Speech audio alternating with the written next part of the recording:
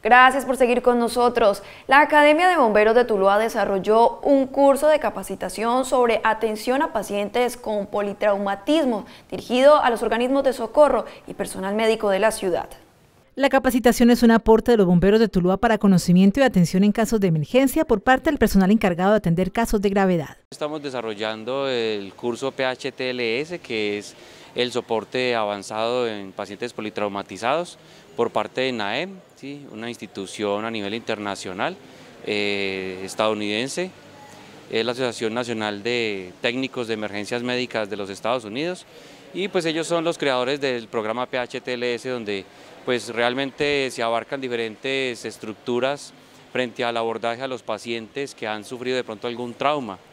Eh, pues obviamente es bien importante que todos los organismos, tanto de socorro como también la parte médica, estén a vanguardia de lo que va saliendo obviamente nuevo cada vez.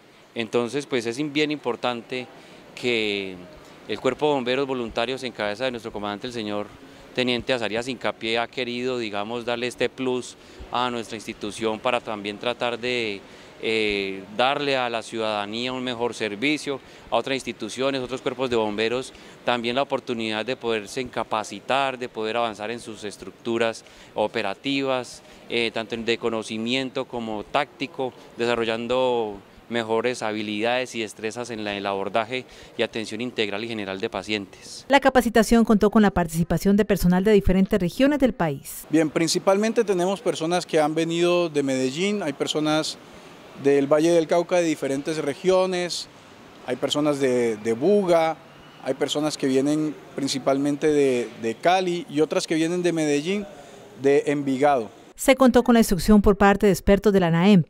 La NAEM tiene su sede principal, los cuarteles generales de NAEM, en Clinton, Mississippi, Estados Unidos, pero es una entidad que tiene alrededor de más de, más de 2.400 centros de entrenamiento a nivel mundial y una red de instructores que llega a 15.000. Con esta capacitación se espera tener en respuesta de emergencias y rescate para brindar una atención oportuna a los pacientes.